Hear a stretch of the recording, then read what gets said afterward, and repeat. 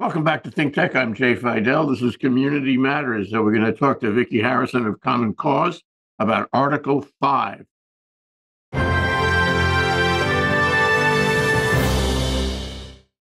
Welcome to the show, Viki Harrison. It's so nice to have you here. Thank you for joining us today. Thank you so much for having me. I love to talk to folks in Hawaii. and we like to talk to Common Cause. You know, uh, Common Cause is about voting, and you're about the Constitution vis a vis voting. Uh, so we want to know what's going on with Article 5. Is something happening with Article 5? Can you talk about it? Absolutely. And thank you so much, Jay, for giving me the opportunity to talk to folks about Article 5, which is something that most Americans don't pay much attention to. It's a provision in our Constitution that gives us the opportunity to amend the Constitution.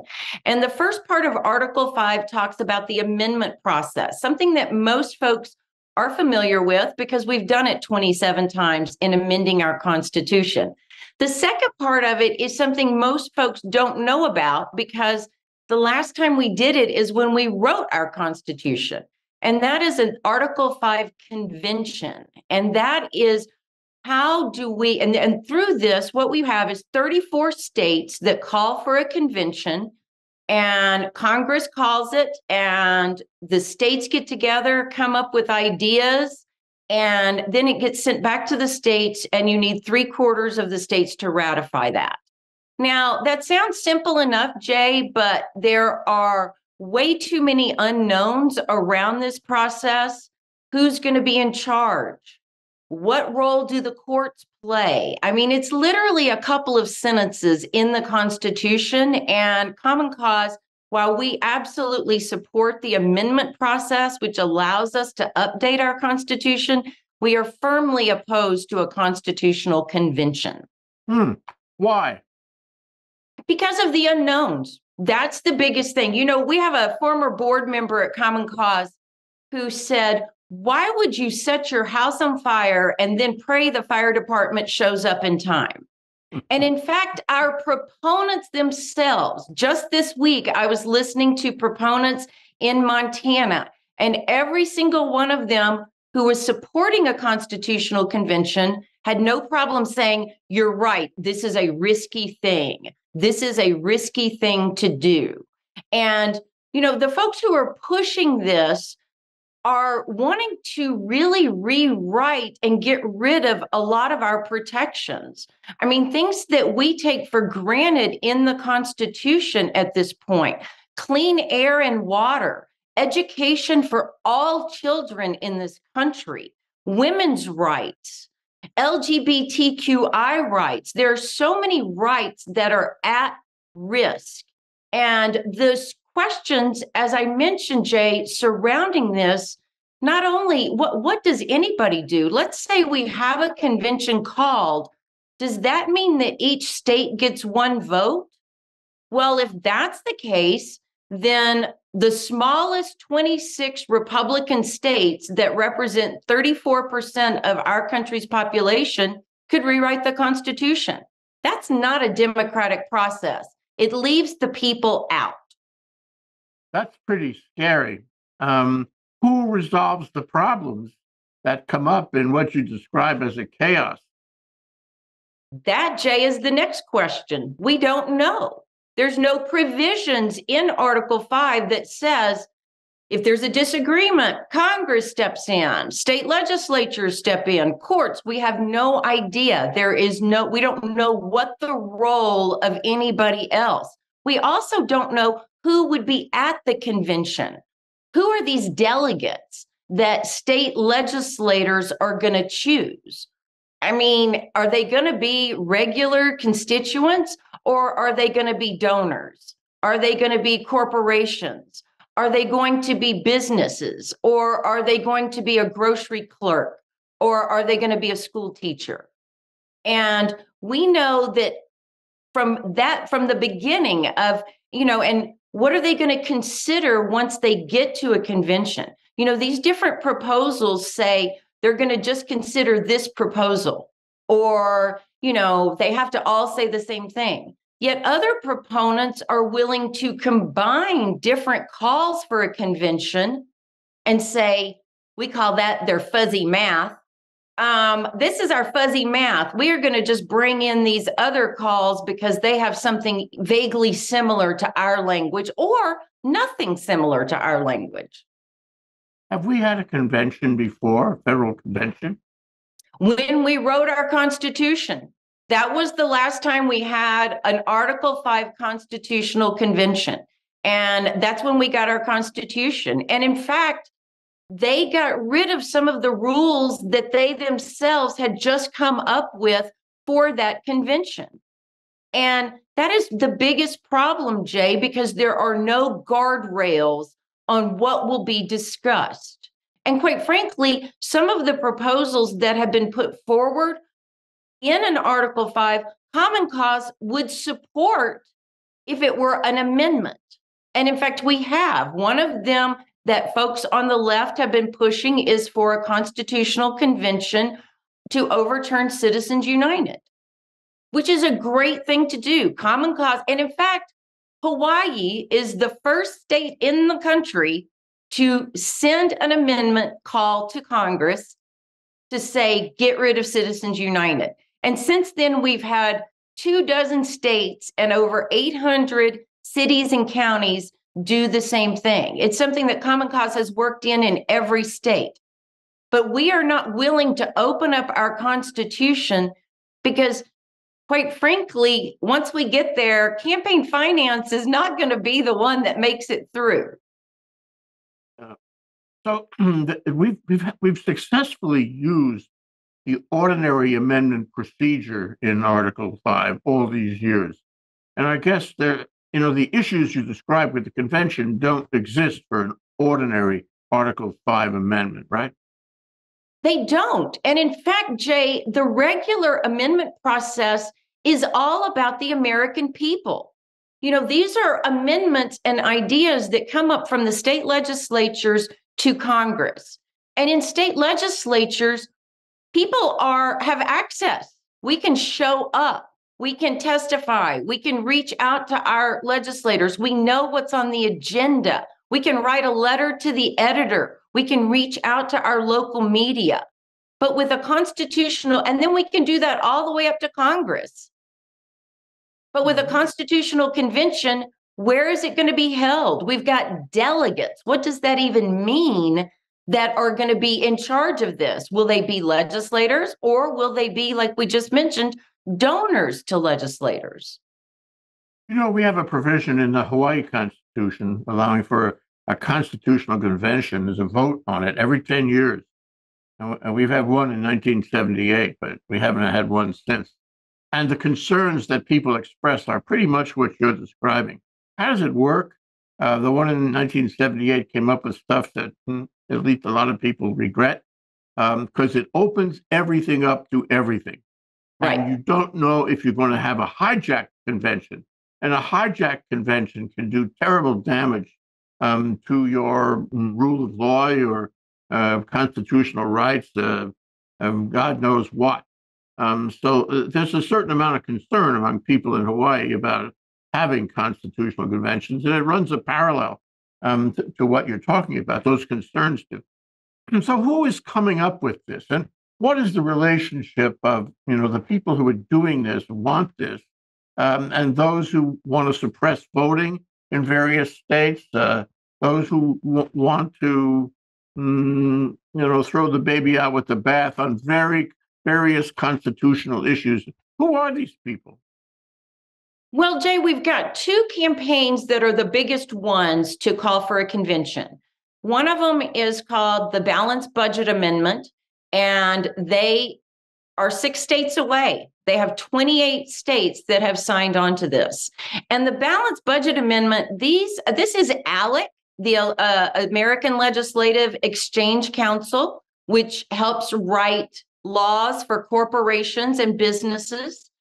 Um, we've got Karl Rove, Scott Walker from, you know, Michigan, Mr. Let's Kill Right to Work. Um, uh, you know the the Koch industries uh, this is something that they have been pushing with their balanced budget forever. And, you know, balanced budget amendment to the average person may not sound like a bad idea. You know, you can say to yourself, well, hey, I balance my checkbook. They should balance their checkbook. The truth is, is governments and businesses don't run that way. And I tell people if we had a balanced budget amendment in this country, it would cripple us tomorrow. And I mean, think about the pandemic and all everything we had to do. Think about like any catastrophe that happens. So the balanced budget amendment folks, they are at 28 states, they need 34 and the other big campaign is Convention of States.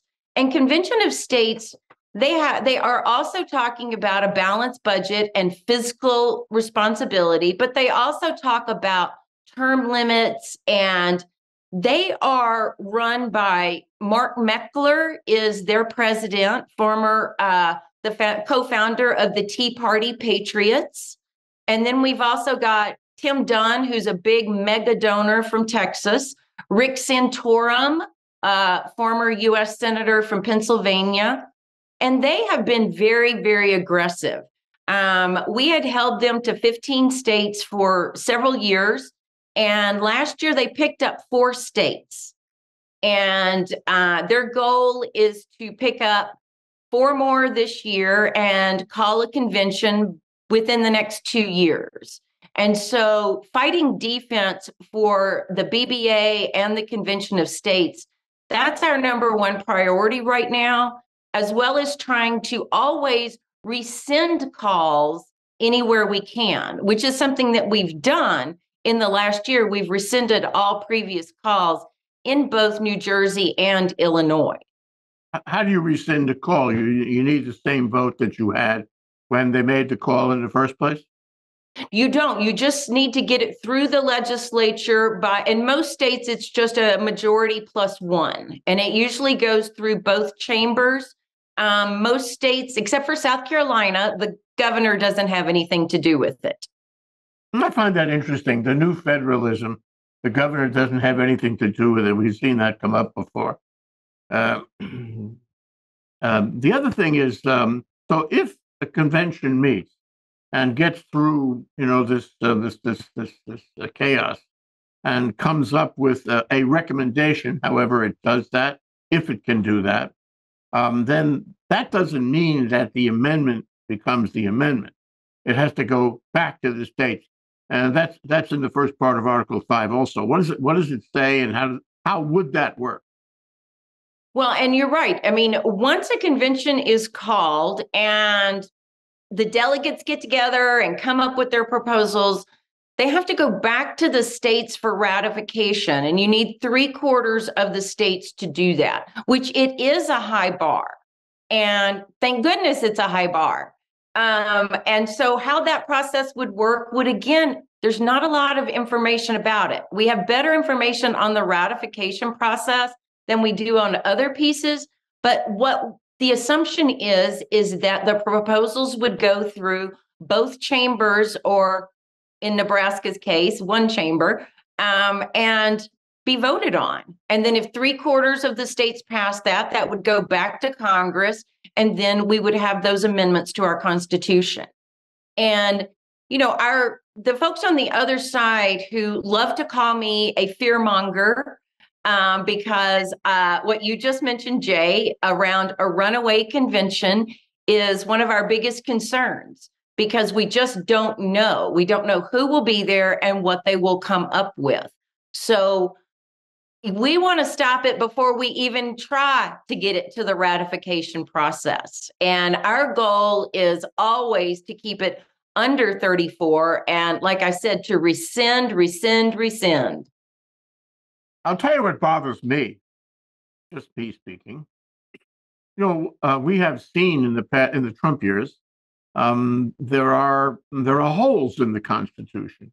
and there are um, flaws in it. There are drafting errors in it, and that if you and I could go back um, to the 18th century, we'd probably draft it. I'm not saying different in substance, but we drafted better. We drafted so it you know, it was predictable. It was not vague. It was not ambiguous. Um, Constitution has those problems, and we are finding now with people who want to play with it, you know, that they can find those ambiguities. well, if you go to a convention and you have a free for all and chaos, a couple of things come to my mind. One is something you mentioned before is you could load 27 things into one amendment. And you can have all kinds of stuff in that amendment. Hmm, okay. The second thing is uh, you could draft it badly.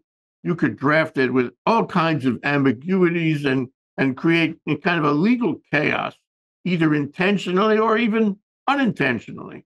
And now you've laid it on the country somehow, and we don't know what it means. We only know that it makes a mess.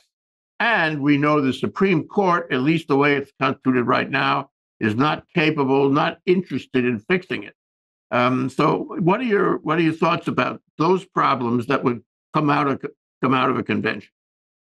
Those are very real problems, Jay.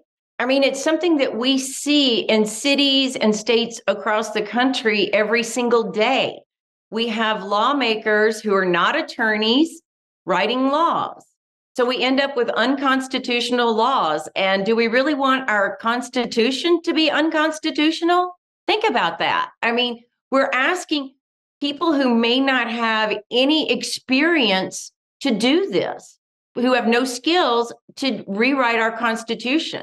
And I often have folks that say, you know, Viki, we need to update the Constitution. It was written all these hundreds of years ago by old white men, and we need to update it.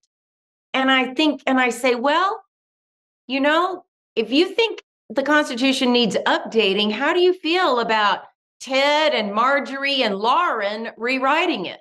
They're not old white men, but those are the kind of people that are going to rewrite this Constitution. This is the atmosphere right now. And even if you were a proponent and you supported an Article 5 convention, why on earth would you support it right now when we are so polarized as a country? I mean, I've been doing state politics for several decades, and the amount of vitriol and awfulness in state houses since about 2013 to 15 is it's on levels of Congress now, Jay. It's not like it used to be, uh, where Republicans, Democrats, independents argued in committee and then went out and had dinner together that night. And you do not see that at all anymore. So, uh, okay, I get so far, I get the idea that the Republicans, especially the right wing Republicans, uh, the GOP's uh, Republican, the MAGA Republicans are are behind uh, this uh, movement, um, and um, I, I want to know if if you know uh, whether Trump is behind this movement. What role does he play? Because we know he doesn't read or write very well or follow the rule of law, uh, and he he I, I suspect in my heart um, that he's the one calling the shot on this and so many other things that do not necessarily bear his name. Is he behind this? There are a lot of folks that are working on this, Jay, that have very close ties to the former president. And we see a lot of the same folks that are work, you know, that said that we did the stop the steal and thought that the last election was not real. We see a lot of those folks, as I mentioned, the same, you know, the Tea Party folks, the Karl Roves of this world, some of you know the former president's advisors working on this. And I just want to say though, just to jump in, that this is quite frankly not really as much of a partisan issue as they would like it to be we have a lot of Republicans on our side that think this is a terrible idea. Um, I mean, all you have to do is listen to committee hearings in Nebraska and Montana and Idaho, and you will hear Republican after Republican legislator standing up and saying, This is a horrible idea. In fact, former Supreme Court Justice uh, Scalia has been quoted saying, this is a terrible idea. Whoa, why would you want to do this? So while we do have the MAGA Republicans and the ALEC Koch brother type Republicans who've been pushing this, there's also a lot of other Republicans for very different reasons, maybe. I mean, if you listen to the hearings in Nebraska, the last, quite frankly, decade of hearings there, they don't want their guns taken away. That's why they don't want to open up the Constitution. That's ironic, isn't it? I mean, I just heard it this week. The same argument, Jay, in Montana. Uh, a senator got up and said, "You're not taking my guns. I'm not voting for this." so, what what can Common Cause do? You describe, uh, you know, a movement that that's funded, a movement that has a certain amount of, um, you know, mm, um, momentum uh, of people who have been doing it for a while, who are dedicated to doing it, however misguided they are. Uh, how do you deal with the legislators and, and for that matter, the, the base that would like to see a convention and like to like to have the chaos and the hijack? You know, we work with a lot of great partners who also care about this. And what we do is we talk to our legislators, we give them the data and show them that this is a bad idea. Common Cause has members in every single congressional district in this country, and we mobilize them. And we are doing phone banks and text banks and sending them emails and talking to them, as well as our partners, to say, let your senator, let your representative know this is something that could cripple our country. And this is not the time, even if you agreed with any of these proposals this is not the time or the procedure to use. So, what we do, Jay, is show up in state houses year after year. And, you know, it was tough last year to lose one state to BBA and one and four to Convention of States. That's tough. But at the same time, we stopped over 150 applications. We have over 150 of these, 160 and 70 in some years that are introduced in legislatures every single year. And we stop them and we defeat them because we know that protecting our Constitution, and I think people are starting to pay attention to this a little bit more because so many of our democratic norms that people have taken for granted for so many years are in question now not only thanks to the former president, but thanks to many decisions made during the pandemic that restricted access to government. Yeah, that's a great concern. You guys have reported that. Um, so, you know, one thing is that what can I do? You know, a legislate, legislator, he can do something or she. Um, Common Cause can do something as you have described, but what can I do? Uh, who do I write to? Uh, who do I support? I know I support Common Cause. That's a given. well, I think what I do? you do, Jay, is you write to your local media so you can get your voice out there. You put together a panel at your church or your community center. We know, Jay, that people are moved on any issue when they hear about it from a friend or family member. Mm-hmm. You, as a friend or family member, have more power than any other trusted messenger on these issues. And these are wonky issues that so many other people are trying to put out fires left and right. But like I mentioned, I mean, we've got, I mean, there's a letter up on our website that has over 250 organizations signing on in support of defeating a constitutional convention. So I can assure your watchers that if they look at that list, they'll find somebody they know on there and they will know that whether it's AFSCME or Planned Parenthood or whomever, that we have partners that are doing what they can. So that's what folks can do is talk to your friends, your neighbors, put together a forum, reach out. There's lots of other organizations who would be happy to have a conversation about this and you show know, up at the legislature and call your senator, call your representative and say, this is not worth it. We don't want this in Hawaii. As we say in Hawaii, it's not Pono. It's not Pono. Exactly. It's not. And I stopped myself from using Hawaiian phrases, okay, because I'm not Hawaiian. so, you know, over the past, uh, over my lifetime anyway, I've seen uh, the growth of complacency. Uh, here in Hawaii, we have low voter turnout, and other states too, I'm sure you know, low voter turnout. And we have complacency about government because, you know, for some reason, for many reasons, um, you know, uh, people have lost confidence in government. Um, and they are, you know, uh, we all live in a, com- a complex world with complex issues in front of government. And we find that some of the representatives that we have elected are not worth it um, and make mistakes, or worse, you get involved in corruption.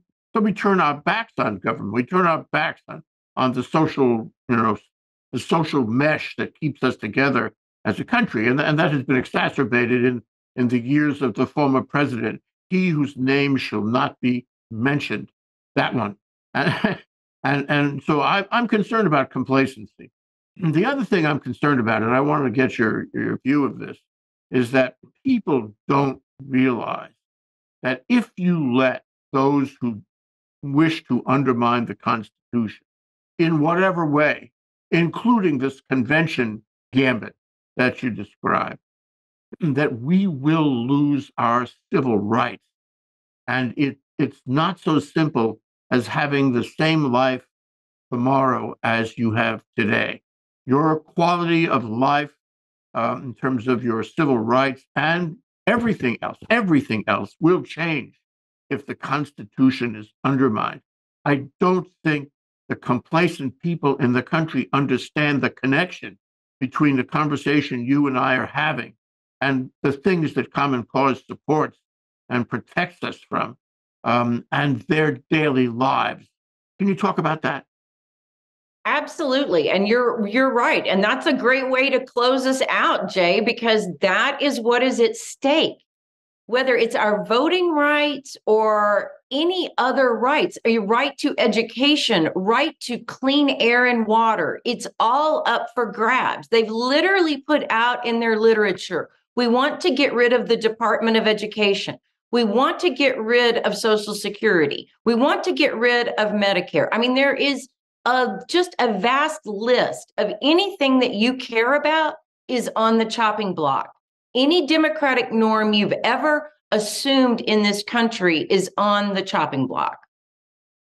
Why do these people who are supporting, um, you know, a convention like this, what, why do they not realize what you're saying?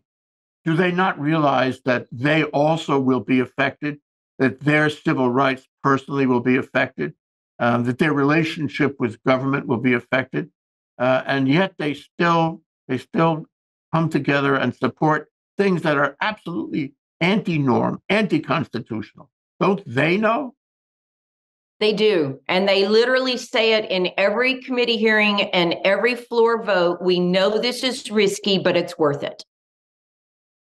What is it worth? What what do they hope to achieve, you know, in the larger comprehensive sense by by taking that risk? It's it's very frightening, Jay, and I wish I had an answer for why on earth they would think this was a good idea. Let me ask you the Charles Dickens question, the question of Christmas future.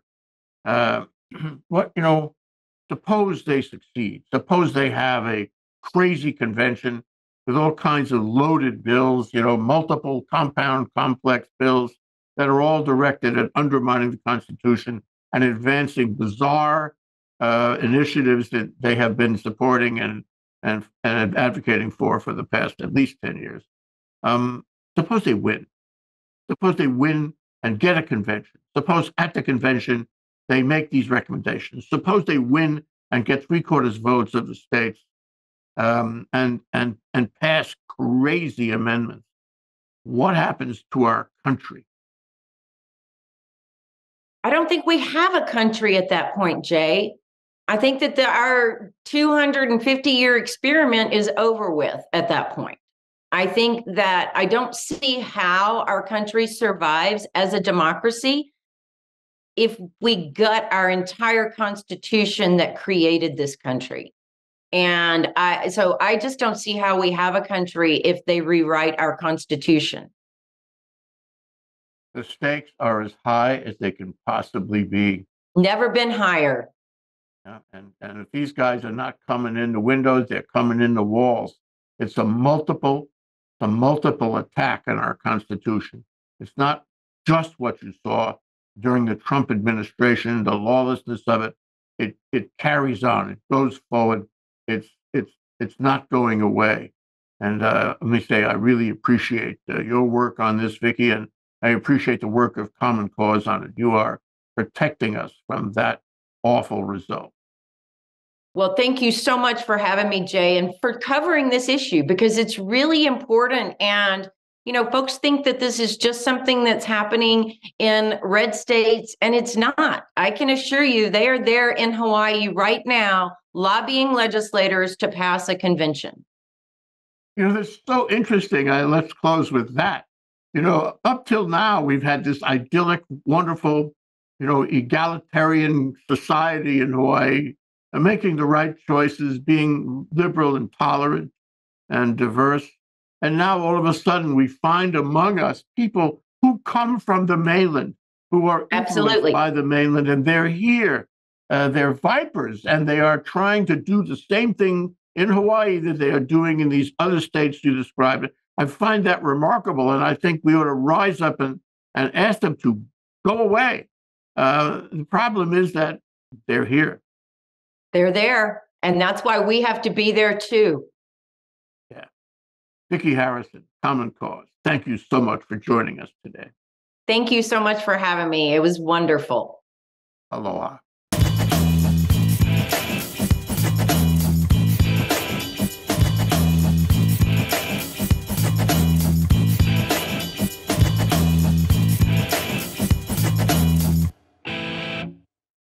Thank you so much for watching Think Tech Hawaii. If you like what we do, please like us and click the subscribe button on YouTube and the follow button on Vimeo. You can also follow us on Facebook, Instagram, and LinkedIn, and donate to us at thinktechhawaii.com. Mahalo.